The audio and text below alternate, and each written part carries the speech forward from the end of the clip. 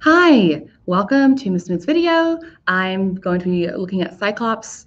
Um, basically, I'm going to have it read for us from our little like recording that I have. I'm going to pause it as we go so I can explain things to you just because my voice will get kind of tired. So um, I'm going to go ahead and turn that on now. One sec.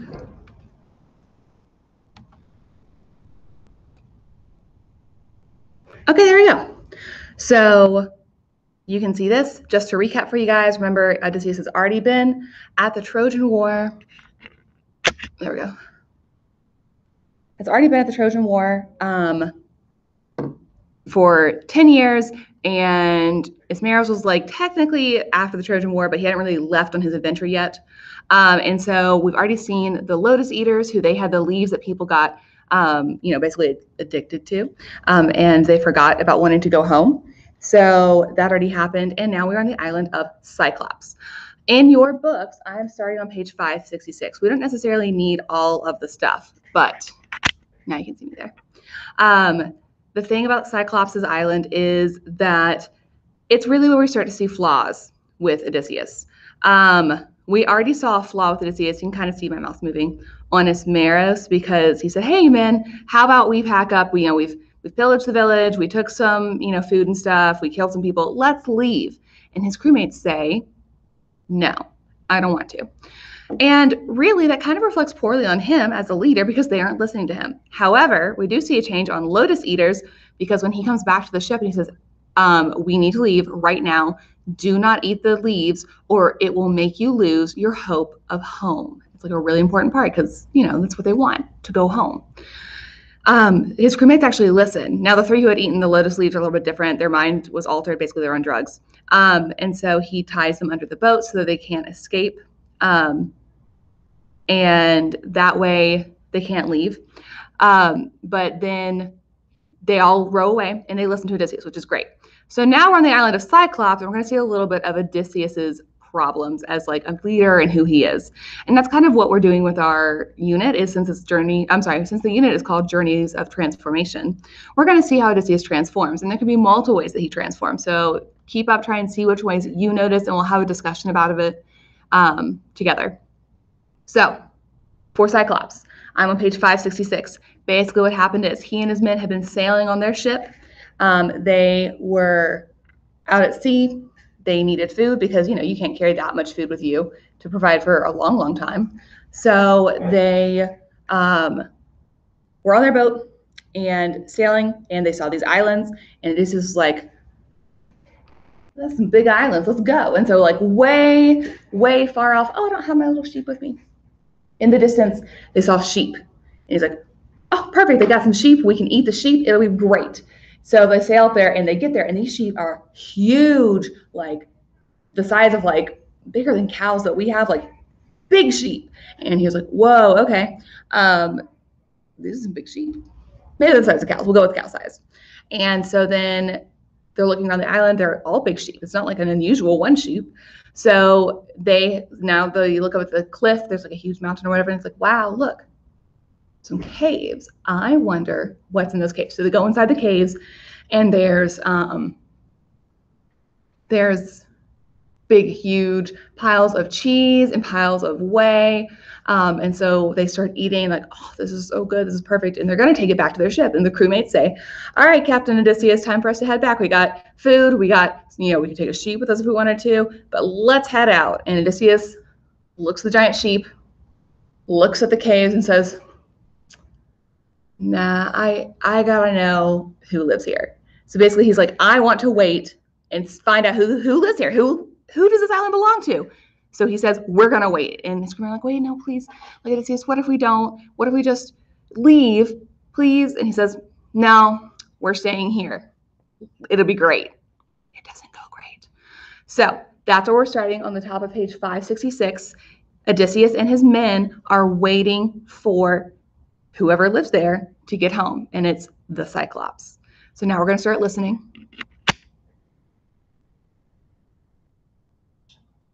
We lit a fire, burnt an offering, and took some cheese to eat. Then sat in silence around the embers, waiting. When he came, he had a load of dry boughs on his shoulder to stoke his fire at supper time. He dumped it with a great crash into that hollow cave, and we all scattered fast to the far wall. Then, over the broad cavern floor, he ushered the ewes he meant to milk. He left his rams and he goats in the yard outside, and swung high overhead a slab of solid rock to close the cave. Two dozen four wheeled wagons with heaving wagon teams could not have stirred the tonnage of that rock from where he wedged it over the door sill. Next. All right. So this is important to note. One, you can look on page 567 and you have a very lovely picture of our very handsome Cyclops. He's quite the looker. Um, but he's huge. And so Odysseus and his men are hiding. And when he comes into the cave, he's got all this wood. He brings his sheep with him. So clearly he's like a shepherd of the Cyclopses. And then in front of the door, he puts this, hold on. You can see me, okay. Front of the door of the Cyclops' cave, he puts this huge rock in place. It's huge. It's so heavy that our text says um, two dozen, so 24. Four wheeled wagons with heaving wagon teams could not have stirred the tonnage of that rock. So 24 wagon teams that has like you know multiple horses could not have moved this rock that's how big it is you just need to keep that in mind because that is important for us he took his seat and milked his bleating ewes a practiced job he made of it giving each ewe her suckling thickened his milk then into curds and whey sieved out the curds to dip in withy baskets and poured the whey to stand in bowls cooling until he drank it for his supper when all these chores were done, he poked the fire, heaping on brushwood. In the glare, he saw us. Strangers, he said, who are you? And where from? What brings you here by seaways, a fair traffic? Or are you wandering rogues who cast your lives like dice and ravage other folk by sea? We felt a pressure on our hearts, in dread of that deep rumble and that mighty man. But all the same, I spoke up in reply. We are from Troy, Achaeans, blown off course by shifting gales on the great South Sea. Homeward bound, but taking routes and ways uncommon, so the will of Zeus would have it. We served under Agamemnon, son of Atreus. The whole world knows what city he laid waste, what armies he destroyed. It was our luck to come here. Here we stand, beholden for your help or any gifts you give, as custom is to honor strangers. We would entreat you, great sir, have a care for the god's courtesy. Zeus will avenge the unoffending guest. Okay, so an important thing to remember is that with Greek culture, like we already learned, you have to be nice and you have to be kind to guests because it could be a test from the gods. We talked about that when we were on King Alcinous's court, and that's why they don't say, Who the heck is this guy? They bring him in, they feed him, he gets a feast, and they get him clothes, and they bring a minstrel, and they're like, Do you want to hear any songs? And they do everything they can for him before they're like, So who are you? Because you have to be nice to guests, or the gods might punish you. And that's what Odysseus is reminding him here. Also, we see a little bit of his heroic, um, I'm sorry, his epic hero um, pride because he talks about who they are. Because obviously, I don't really blame the Cyclops. You know, if I was at my house, just like, you know, going about getting my dinner ready, taking care of my dog, and I look up and there's just some dudes chilling in my house, I'd say, um, who the heck are you? Why are you here? What are you doing? So I don't really blame the Cyclops for being so abrupt with them. And Odysseus, with his ego, says, We are from Troy, Achaeans, which means Greeks, by the way. And we, of great Achaeans, we served under Agamemnon, son of Atreus.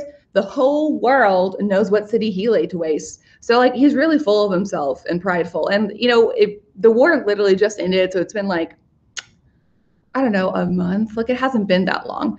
And um, so it's very new and relevant information. But come on, dude. He just wants to know why who you are and why you're in his house. Just be nice to him.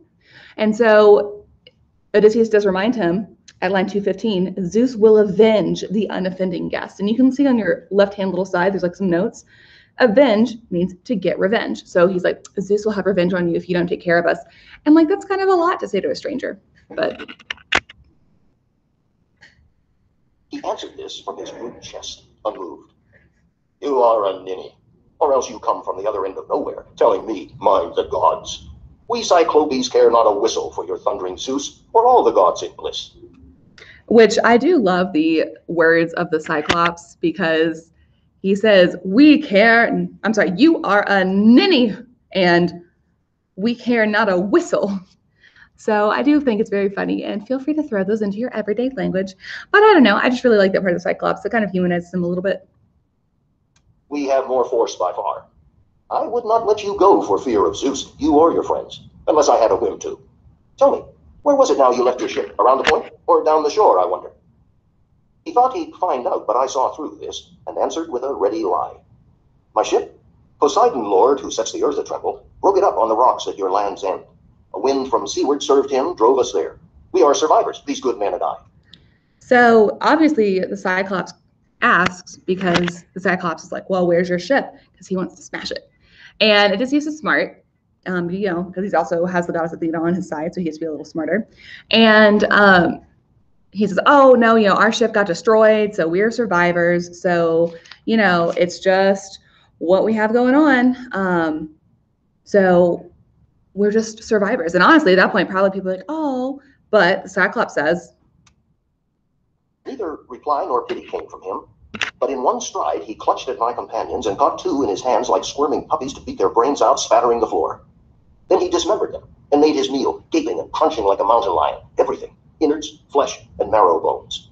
We So, you know, Cyclops has these strangers in his house and they're not being very nice. And so I hear him there. But then, as he's watching them, he grabs two of the men in his hands. And it's this is our epic simile for the moment like squirming puppies to beat their brains out. And he eats them, which, like, that's an extreme reaction to have someone in your house. But so he catches them in and he squishes them and he eats them. And Odysseus and his men are just having to watch this. cried aloud, lifting our hands to Zeus, powerless, looking on at this, appalled. But Cyclops went on filling up his belly with man flesh and great gulps of whey, then lay down like a mast among his sheep. My heart beat high now at the chance of action, and drawing the sharp sword from my hip, I went along his flank to stab him where the midriff holds the liver. I had touched the spot when sudden fear stayed me. If I killed him, we perished there as well, for we could never move his ponderous doorway slab aside. So let's see. Hopefully, you guys can kind of see me. Oh, there we go. So Odysseus uh, sees all his men get eaten. I'm sorry, not all of his men, but he sees his men, some of his men get eaten. And the rest of his men and him are like, oh my gosh, this is insane. And so the Cyclops lays down to go to sleep, um, you know, because this is just what he feels like doing. So Odysseus grabs his sword from his side and walks up to the giant sleeping Cyclops. He's about to poke him in the liver with the sword, which is like right here, which would not go well for anybody because you know your guts fall out and your would bleed out and die. But he stops because don't forget, we have the gigantic rock way over here that's covering the doorway that 24 teams of wagons could not move that rock. So there is no way Odysseus and his men can move it by themselves. So they can't kill him. They have to wait because otherwise they'll be stuck in the cave and they'll perish. So we were left to groan and wait for morning. When the young dawn with fingertips of rose lit up the world, the Cyclops built a fire and milked his handsome ewes, all in due order, putting the sucklings to the mothers. Then, his chores being all dispatched, he caught another brace of men to make his breakfast, and whisked away his great door slab to let his sheep go through. But he, behind, reset the stone as one would cap a quiver. And I'm just going to talk real briefly that to cap a quiver, you can look over at your little side notes, is to close a case holding arrows. So if you've ever seen like anything that has to do with an archer, um, I always think of Hunger Games. They archers, if they're in battle, will have like a little thing on their back back here that has arrows in it. So they'll stand there and they'll go, whoosh go, go, and like keep reloading um, their bow so they can keep shooting arrows. And that's called the quiver. And so he is able to re-close the cave with the giant rock as easy as one recaps a quiver. It's not hard. It's just putting a lid on something. So for the Cyclops, it's as simple as doing this for him. No big deal. There was a din of whistling as the Cyclops rounded his flock to higher ground, then stillness. And now I pondered how to hurt him worse, if but Athena granted what I prayed for. Here are the means I thought would serve my turn. A club or staff lay there along the fold, an olive tree, felled green and left to season for Cyclops' hand. And it was like a mast, a lugger of twenty oars, broad in the beam, a deep sea-going craft might carry. So long, so big around it seemed. Now I chopped out a six-foot section of this pole and set it down before my men who scraped it. And when they had it smooth, I hewed again to make a stake with pointed end. I held this in the fire's heart and turned it, toughening it, then hid it well back in the cavern under one of the dung piles in profusion there. Now came the time to toss for it. Who ventured along with me? Whose hand could bear to thrust and grind that spike in Cyclops' eye when mild sleep had mastered him? As luck would have it, the men I would have chosen won the toss. Four strong men, and I made five as captain. All right. So, a few things of importance for us. First, I'm looking at line 264. You can see they're like little line numbers. Well, 263. And now I pondered how to hurt him worst, if but Athena granted what I prayed for. So basically, he's like, please, Athena, help me. I need to figure out how to escape the Cyclops. And remember, she like she thinks Odysseus is precious, like a little puppy. And so, oh, little Odysseus. Okay. Yes, Athena adores him. But the other reason why he's asking her is, if you look in your side notes, what kind of goddess is Athena? She's the goddess of wisdom, skills, and warfare. So if you need help, like if you're struggling on our our Odyssey test, say, Goddess Athena, please help me figure out how to take this test. Help me remember the story of Odysseus because she'll help you with wisdom. Um, next, she gives him a plan. There in the cave, there's this huge like tree laying on the ground that basically the Cyclops is saving so he can turn it into a um, like a big staff or a club or whatever. So Odysseus takes it and he cuts out a big section, like way bigger than this, way thicker around was what I have. So they cut out a huge section. He says, All right, men, help me. So the men help smooth it out so it's not super rough. Then they take a sharp object and boom, they make a point on the end. So now it's pointy. Then Odysseus is like, We got to make this even better. So there's a fire going. So they take it and they put it into the fire and they let it get real burnt and crisp because it'll be harder and sharper. So now this part's all burned. So they have this big pointy stick. And they need to take it. And then finally, just he's like, we have to hide this. And he puts it under the poo poo pile in the back of the cave, which I would never check there. So, not a bad hiding place. So, it's hidden in the back under poop.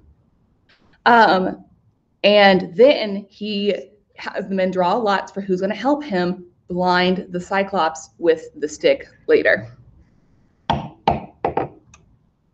At evening came the shepherd with his flock, his woolly flock. The rams as well this time entered the cave. By some sheep herding whim, or a god's bidding, none were left outside. He hefted his great boulder into place and sat him down to milk the bleating ewes in proper order, put the lambs to suck, and swiftly ran through all his evening chores. Then he caught two more men and feasted on them. My moment was at hand, and I went forward holding an ivy bowl of my dark drink, looking up, saying, Cyclops, try some wine. Here's liquor to wash down your scraps of men. Taste it and see the kind of drink we carried under our planks. I meant it for an offering if you would help us home. But you are mad, unbearable, a bloody monster. After this, will any other traveler come to see you? Which, Odysseus, come on now. He is trying to make the Cyclops feel comfortable. So like, oh, Cyclops, please try some wine. This will be great. And so he has this bowl and he's like, you know, we're going to give it to you for an offering. So he's being nice. And like, honestly, if I was the Cyclops, I'd be a to a false sense of security. But then it is, he says, but you're a bad, a mad, unbearable, bloody monster. So if you're ever trying to escape someone and trying to convince them that you are good and all this caring stuff, maybe don't call them a mad, unbearable, bloody monster. But so he has this huge bowl of wine. It's like, Cyclops, please try some wine. He seized and drained the bowl. And it went down so fiery and smooth he called for more. Give me another. Thank you kindly. Tell me, how are you called? I'll make a gift will please you. Even Cyclopes know the wine grapes grow out of grassland and loam in heaven's rain. But here's a bit of nectar and ambrosia. Three bowls I him, and he poured them down. I saw the fuddle and flush come over him. Then I sang out in cordial tones. So huge bowls of wine, and this is like probably like really good, really strong wine. And so the Cyclops had three huge things of wine and the fuddle and flush comes over him. So like clearly he's turning drunk. And so Odysseus starts like sweet talking him. Hopefully this doesn't sink for us. We'll find out. Cyclops, you ask my honorable name? Remember the gift you promised me, and I shall tell you. My name is Nobody. Mother, father, and friends, everyone calls me Nobody. Now we know his name's not nobody, it's Odysseus. But there must be a reason for this plan. So we're going to go along with it. And he said, Nobody's my meat then, after I eat his friends. Others come first. There's a noble gift now. In my mind, he's like, Wahaha, there's your noble gift now. Because the gift he's giving Odysseus in exchange for the wine is, I'll eat you last. You can watch all of your friends die and get eaten, and you'll be last. Ha ha ha. And like, dude, stop being so terrible. It makes me not want to feel bad for you. Even as he spoke, he reeled and tumbled backward, his great head lolling to one side, and sleep took him like any creature. Drunk, hiccuping, he dribbled streams of liquor and bits of men. So basically, the Cyclops threw up, and like arms and stuff came out of his mouth. Gross. Now, by the gods, I drove my big hand spike deep in the embers, jarring it again, and cheered my men along with battle talk to keep their courage up. No quitting now. The pipe of olive, green though it had been, reddened and glowed as if about to catch. I drew it from the coals, and my four fellows gave me a hand, lugging it near the Cyclops as more than natural force nerved them. Straight forward they sprinted, lifted it, and rammed it deep in his crater eye, and leaned on it, turning it as a shipwright turns a drill in planking, having men below to swing the two-handled strap that spins it in the groove. So, with our brand, we bored that great eye socket, while blood ran out around the red-hot bar. Eyelid and lash were seared. The pierced ball hissed broiling, and the roots popped. All right, so I got a few things to talk about. There we go. So, Odysseus, now that the Cyclops is asleep, laying down, Odysseus and his men go get the stick again that they've already sharpened and they've already, you know, hardened it with the fire. And so now they put it back in the fire and they get it nice and hot and glowing. And they like huge, like it takes five guys to help carry this thing huge over to the head of the Cyclops. And they hold it over his eye and go down to his eye. Obviously, it's going to hurt. Obviously, the Cyclops, who only has one eye, is now blinded. And so, um, I'm looking at line like 330. Uh, I'm sorry, 334, and leaned on it, turning as a shipwright term, tums a drill and planking, having men below to swing the two-handled strap that spins in the groove. So not only is it plunged into the eye of the Cyclops, epic simile alert, they are turning it in his eye, and it's so huge they're having to work together to turn it. And the epic simile is comparing how they're turning this in the eye of the Cyclops to how on a ship, which I'm not great with ship stuff, but we'll be fine. I always picture like when you're trying to take an anchor up on like an old-fashioned ship, not using power. There was a huge like turning thing that had sticks poking out of it. So every guy would grab a stick and push it in a circle, so that way they could pull up the anchor. And so that's what it's comparing this to is they're turning it with such force and purpose, like when people are trying to get the ship going, and so they have to pull up the anchor. That's what I got. Oh, and now we have another one. Ready? In a smithy, one sees a white-hot axe head or an adze plunged and wrung in a cold tub, screeching steam, the way they make soft iron hale and hard. Just so that eyeball hissed around the spike. So this is a different epic simile. In a smithy, one sees a white hot axe head on an adze plunge and wrung in cold tub, screeching steam, the way they make soft iron hale hard, just so that eyeball hissed around the spike. Um, so I don't know if you guys have ever been to like a battle place or um, like a bunker for one of the wars. And they'll have people there who are like blacksmiths and people who are showing different skills. When you're a blacksmith, obviously you have to form different metal shapes and stuff. So you get it nice and hot because that way it's, you know, more of like a liquid state. So you can bend it and mold it. And so they beat it. And in this case, we're talking about an axe head. So you beat the axe head so it's nice and has the shape you need but it's still liquidy, so you need to cool it down really fast. So they always plunge it into a bucket of water. And because the iron is so hot and the water is so cold, it goes and all the steam comes out. That's the exact sound that the Cyclops' eyeball made when they put the very hot spike inside of it. Delicious. The Cyclops bellowed, and the rock roared round it, and we fell back in fear. Clawing his face, he tugged the bloody spike out of his eye, threw it away, and his wild hands went groping. Which I always tell the story, and I'll just do briefly. Um, if you ever get a stick in your eye, don't pull it out. Um, when I was growing up, a kid in a neighborhood put a stick into his eye, playing with his friends. They were joking around and messing around, like playing swords. And he went inside with the stick in his eye. He's like, Mom, Mom, I need help. Blah, blah, blah. And so she came down the stairs. And as she comes down the stairs, she watches him go and pull the stick out of the eye and like blood and everything. But you can't pull it out because it'll damage your eye more. So, life tip. Then he set up a howl for Cyclopes who lived in caves on windy peaks nearby. Some heard him, and they came by divers ways to clump around outside and call, What ails you, Polyphemus? Why do you cry so sore in the starry night? You will not let us sleep. Sure, no man's driving off your flock. No man has tricked you. So now we have our Cyclops' name. It's Polyphemus. And um, now we know who he is. And so he's calling for the other Cyclops to help. And it's the middle of the night. They're not happy about being woken up. I sure wasn't happy when I was woken up by storms the other day. So they're like, what do you need? What do you want? Surely no one's bothering you right now. And so Polyphemus, our Cyclops, replies, Ruined you? Out of the cave, the mammoth Polyphemus roared in answer. Nobody. Nobody's tricked me. Nobody's ruined me. So now we understand why Odysseus said his name was Nobody, because everybody's outside, like, all right, what do you need, Polyphemus? Why are you crying so? And Polyphemus says, Nobody, nobody's tricked me. Nobody's ruined me. And they're like, okay, so if nobody's tricked you, what's the problem? To this rough shout, they made a sage reply. Ah, well, if nobody has played you foul there in your lonely bed, we are no use in pain given by great Zeus. Let it be your father, Poseidon Lord, to whom you pray. No, wait. So saying, they trailed away. All right, so basically, the Cyclopses, um, they're a pretty brute breed, apparently, because of what they say. Um, so clearly, he's crying out for something, but they don't know who it is because he says it's nobody. And so they say, ah, if nobody's played you foul there in your lonely bed, we are no use in pain given by great Zeus. Let it be your father, Poseidon Lord, to whom you pray. So their insult basically is, well, you're lonely, so that's probably why you're crying. Go cry to your daddy. And who is Polyphemus's dad? This is important for us. It's Poseidon. So definitely make that notes in your timeline that you're still doing.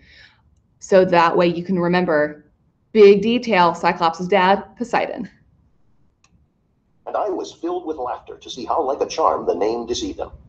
Now Cyclops, wheezing as the pain came on him, fumbled to wrench away the great doorstone and squatted in the breach with arms thrown wide for any silly beast or man who bolted, hoping somehow I might be such a fool.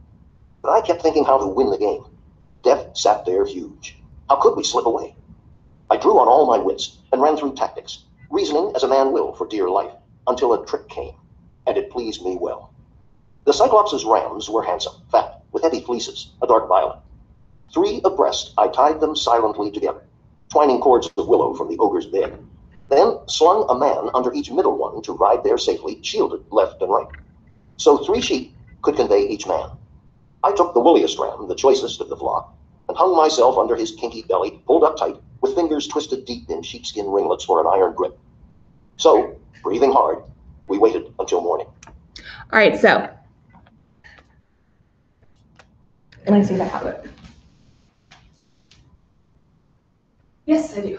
Okay, so uh, normally I would have you guys here to help me out with this, but I don't. So we're making do, and it's gonna be great.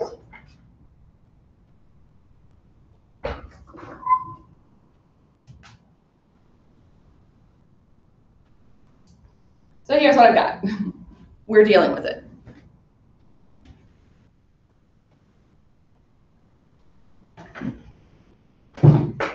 Perfect.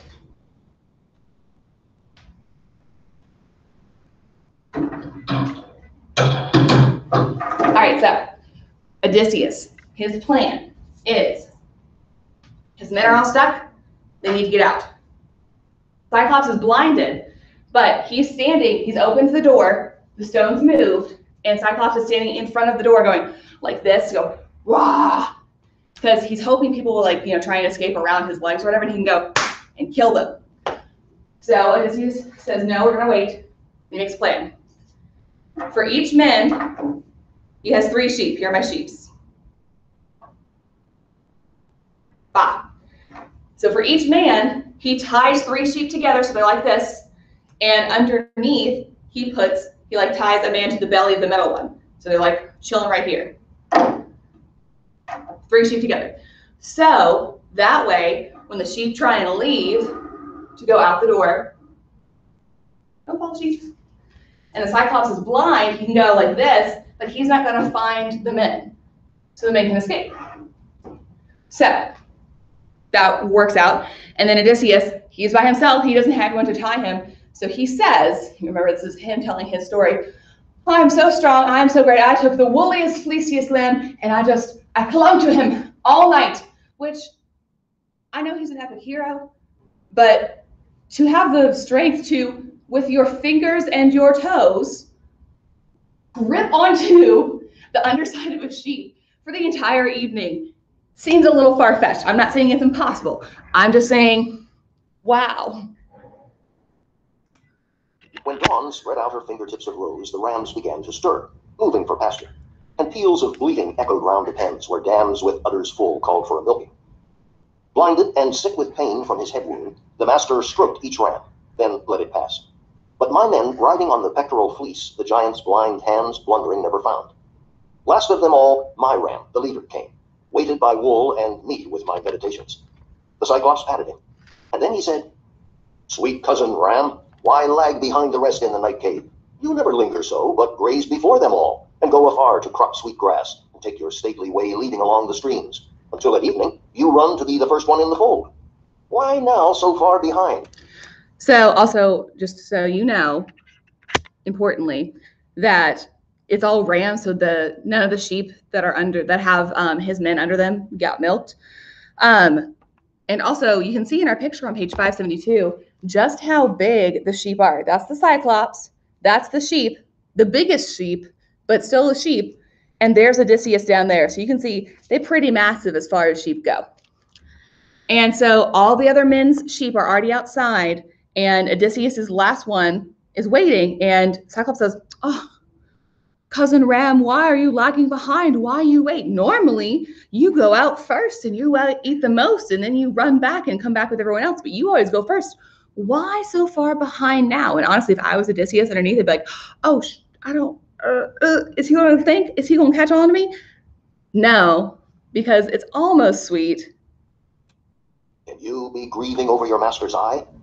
That carrion rogue and his accursed companions burnt it out when he had conquered all my wits with wine. Nobody will not get out alive, I swear. Oh, had you brain and voice to tell where he may be now, dodging all my fury. Bashed by this hand and bashed on this rock wall, his brains would strew the floor, I should have rest from the outrage nobody worked upon me. So it's kind of sweet, but he's like, oh, sweet Ram, why you lag behind the rest? Because remember, he's blind. You normally go out so fast. Is it because you're grieving for your master and the loss of my eye? Well, and like, I mean, to be fair, I probably would have had that conversation with like my pet if something happened, but it's almost sweet. But still, he did murder a bunch of people and eat them. So He sent us into the open then. Close by, I dropped and rolled clear of the ram's belly, going this way and that to untie the men. With many glances back, we rounded up his fat, stiff-legged sheep to take aboard and drove them down to where the good ship lay. We saw, as we came near, our fellows' faces shining. Then we saw them turn to grief, tallying those who had not fled from death. I hushed them, jerking head and eyebrows up, and in a low voice told them, Load this herd, move fast, and put the ship's head toward the breakers. They all pitched in at loading, then embarked and struck their oars into the sea. So they're successful. Odysseus and his men get out, the ones who weren't eaten, because um, the Cyclops lets them out. And the second that they get free from the Cyclops' cave, they're out of the door. Odysseus, who was clinging to his sheep, drops from the sheep and like goes to untie all his men, and they start going towards the ship. Now, to add insult to injury, they've already escaped the Cyclops. That's what they wanted. They also take some of his sheep with them. It says they take the stiff-legged sheep aboard, which, whatever. So they run down shore. They see all the men, and some of the guys, you know, they said, "Oh, you guys made it!" But then they see who's not there, and they're like, "Oh my gosh, we lost people." And just like he's very direct, and like this does make him a good leader, I think. When he says, "Load this herd." Move fast and put the ship's head toward the breakers. And so they all pitch in loading because they can see from him this is serious. So they start loading the, bo- the boat. Now they've got the boat and they are pressing out. Like they are on the boat. They have most of his men. They have food. They are good to go. But our epic hero has excessive pride. So this is not the last thing. We know it. Far out, as far offshore as shouted words would carry, I sent a few back to the adversary. Oh, Cyclops, would you feast on my companions? Puny am I in a caveman's hands? How do you like the beating that we gave you, you damned cannibal? Eater of guests under your roof? Zeus and the gods have paid you. The blind thing in his double fury broke a hilltop in his hands and heaved it after us. Ahead of our black prow it struck and sank, whelmed in a spewing geyser. A giant wave that washed the ship stern foremost back to shore. All right. So, oh wait, I'll let it finish. I got the longest boat hook out and stood fending us off with furious nods to all to put their backs into a racing stroke. Row, row, or perish. So the long oars bent, kicking the foam sternward, making head until we drew away and twice as far. Okay, so they are on the boat. Moving this, taking it with me. Okay.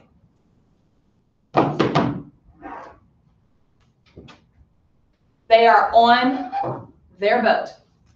And so all of his men and all of him and all of the sheep are sailing away from we got Cyclops' Island. They're sailing out to sea. They are like halfway from Cyclops' Island, like from like you know distance wise. So they're far enough away. And Odysseus turns back and shouts back towards the Cyclops, Cyclops, do you like the beating we gave you? And he justifies it by saying, Zeus has repaid you for like being mean to your guests. Which is a lie, but like he's like, oh, we did this because you should be punished by the gods, and we told you Zeus would punish you if you didn't take care of your guests, which is us. So, Cyclops is my boat, is furious, understandably. And so he's like, ah! So he takes, oh, I don't have anything, a hilltop in his hands. He just breaks off side of the mountain and throws it at the boat. He's blind, he can't see it, but he can hear them. So he throws at the boat, and the rock goes and lands just in front of the boat. So they're trying to sail away, which they didn't die, which is great, but it's so big, it creates such a big wave, it pushes the boat back towards shore. Everyone's like, oh shoot, Captain, why'd you do that? So he grabs a like a hook and an oar, and everyone's like, row, row, or perish.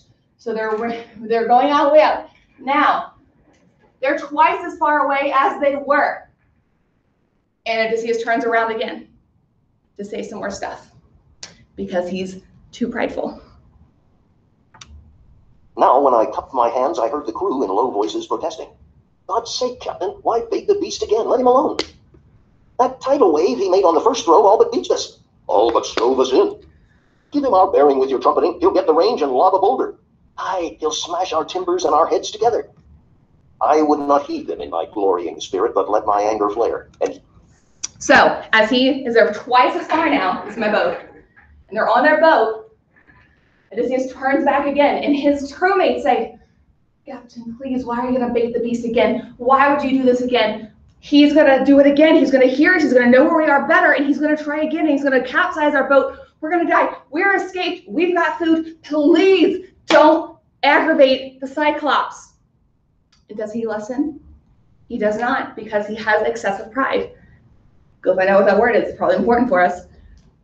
So he has excessive pride. And he turns back to the Cyclops and yells. Oh, yells. oh, Cyclops, if ever mortal man inquire how you were put to shame and blinded, tell him Odysseus, raider of cities, took your eye. Laertes' son, whose home's on Ithaca. At this he gave a mighty sob and rumbled, Now comes the weird upon me spoken of. All right, pause. So here's the thing. Because remember, Cyclops did not know Odysseus' real name. He thought he was nobody. But he's not nobody. So Odysseus turned out like, if anyone ever asks who blinded you, tell them it was me, Odysseus, son of Laertes of Ithaca, where I live. So not only has he told him his name, where he lives, and in case there's another Odysseus running around Ithaca, he's like, son of Laertes, just in case. Which, dude, come on. So he says all these things, which, like, you know, even five year olds learn. Your parents are saying, now, if somebody's asking you where you're from or who you are, don't listen, don't tell them your name, and don't tell them where you live, because that's to be safe. And this grown man who's won wars doesn't know that. A wizard, grand. Oh, sorry. And so then this makes the Cyclops, so we got Odysseus. Cyclops is so pleased. No, he says, now the weird comes upon me. So he's going to tell us about a prophecy he heard a long time ago. wondrously dear. Telemus, A son of wizard. Eurymus. Great length of days he had in wizardry among the Cyclopes, and these things he foretold for time to come. My great eye lost, and at Odysseus's hands. Always I had in mind some giant, armed in giant force, would come against me here. But this, but you, You. small, pitiful, and twiggy, you put me down with wine. You blinded me. Come back, Odysseus, and I'll treat you well, praying the god of earthquake to befriend you. His son. Oh. Son I am, for he by his avowal fathered me. So he's like, I was prophesied that this guy named Odysseus would blind me, but I thought it'd be some big dude. But this, but you, you blinded me. You're so puny. How could this even happen? And then he tries to play a trick of his own. He says, Odysseus, come back, and um, I'll have my father befriend you. Don't forget, his father, who is god of earthquakes, Poseidon, will help you. This is a lie. He's trying to get it back so we can go and squish him. But um, he says, come back and I can help you make him be your friend. Because again, we're being told that Poseidon's his father. So this is really important. If he will, he may heal me of this black wound, he and no other of all the happy gods or mortal men. Few words I shouted in reply to him. So, like, yes, this is a trick. But Odysseus takes it a little too far, and he says, If I could take your life, I would, and take your time away, and hurl you down to hell. The god of earthquake could not heal you there. which, I mean, just just stop talking to him, honestly. But he's like, if I could, I would send you to hell, and then your father couldn't help you there. What the This, he stretched his hands out in the darkness toward the sky of stars and prayed Poseidon. Oh, hear me, Lord, blue girdler of the islands, if I am thine indeed, and thou art father. Grant that Odysseus, raider of cities, never see his home. Laertes' son, I mean, who kept his hall on Ithaca. Should destiny intend that he shall see his roof again among his family and his fatherland, far be that day, and dark the years between. Let him lose all companions, and return under strange sail to bitter days at home. So he says, the Cyclops says, Father, if you really are my father, help me and make it almost impossible for Odysseus to come home. If he does have to come home, like if Destiny says he has to, um, far be that day and dark the years between and kill all of his men. So Odysseus will have all of his men lost. It'll take a really long time to get home, and he has to come home on strange sail. So that's why when we're on Calypso's island, like, you know, before this, well, actually, I don't know. Hold on. Because remember, timelines are weird for me and for us for this story. But. So we're here, but we've already read the Calypso part. Remember when he left Calypso's island and went to King Alcinous's court? And Calypso's like, I promise to help you. And she gives him a raft. And so he's on the raft sailing away, and the storms come up and it destroys his raft. That is because on Cyclops Island, sorry, Odysseus um, gets cursed basically because the Cyclops prays for Poseidon to make his life really hard. So while we're still like, you know, maybe like a month out of the Trojan War, it takes like nine and a half more years for him to get home because of the Cyclops' wish. Which that's almost impressive. In these words he prayed, and the god heard him. Now he laid hands upon a bigger stone and wheeled around, titanic for the cast, to let it fly in the black prowed vessel's track. But it fell short, just aft the steering oar, and whelming seas rose giant above the stone to bear us onward toward the island. Okay, so Odysseus says of those things on his boat, and the Cyclops says that prayer, and he's like, "Please curse Odysseus, make it impossible for him to get home." And to you know, one last try, blind Cyclops takes another mountaintop and throws it at the boat, but we're farther away. So this time on the boat, the rock lands behind them, not on them, but behind them, and it pushes them out and they're gone. And like that's the end of our Cyclops story. I know this was really long. I'm so sorry, guys, but they'll be shortened out. And it was really important for us because we learned lots of important information. So, in our packets, identify how Greek values and culture were demonstrated for us. That's super important because Odysseus and his men are not treated properly as guests. Let me grab my other packet. I'll be right back. Write down your summaries. Oh no! What am I to do? Okay, perfect. Sorry. So, how does Odysseus introduce? How does Odysseus and his men introduce themselves? So Odysseus doesn't even introduce himself with his real name. He's just like, we are Achaeans, and he brags about himself because he's prideful. So, what does, oh, and then he also says, don't forget you have to be nice to us because we are guests, and Zeus will avenge the unoffending guest. So, what does this indicate about Greek culture values? There we go, sorry. It's because you have to be nice to your guests. Um, when Odysseus is, is sailing away, he explains not only his name, where he lives, and who his father is, just in case. Because he wants to get credit for blinding the Cyclops. But it comes back to bite her in the butt in a big way. And then finally, I asked you about epic simile. We saw three, but I'd like you to either focus on the one about um, turning the stick, the giant, huge club stick, and the sound of the eye popping and the hissing. So find those. I think they're both on page 570. Pick out one of them and just write for me and say like on on these lines. So tell me what lines they are. This is being compared to this. Um, and once you have your summary, you'll be good to go for this island. I hope you guys enjoyed it and it'll be great. Bye, guys.